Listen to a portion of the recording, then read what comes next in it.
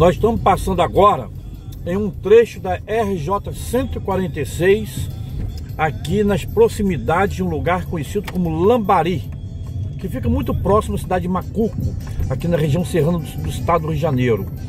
E a concessionária responsável por essa RJ, a Rota 116, está realizando aqui nesta curva, muito perigosa, um importante serviço de contenção aqui.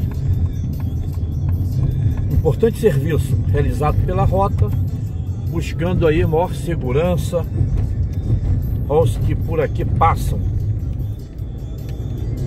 Registramos isto neste dia 17 de setembro de 2021. É a rota 116, hein?